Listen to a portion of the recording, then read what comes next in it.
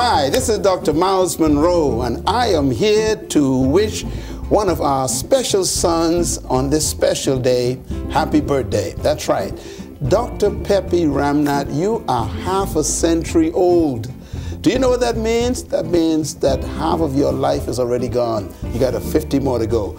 You got at least to live at least 100 years old. So, tell you what, we are here to tell you on behalf of Bahamas Faith Ministries and uh, Third World Association, along with my wife Ruth and our entire BFM family, we wish you a very special happy birthday today. All the people gathered here with you tonight, they are here because they trust, believe, and they are inspired by your work. You have been powerful influence in too many people's lives over the last 50 years. And imagine what you've done so far. The best is yet to come. So I wish that you'll enjoy this wonderful day. May God bless you. May you live a healthy, long, and a peaceful life.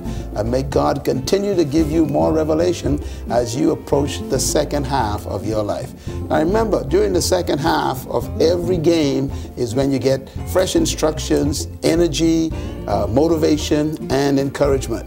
When you go out of this building tonight, it's going to be second half. And your second half, just like the Bible says, your latter shall be greater than your former. So expect better things to happen on the other side of 50. By the way, welcome to our side of life. God bless you and have a great happy birthday celebration.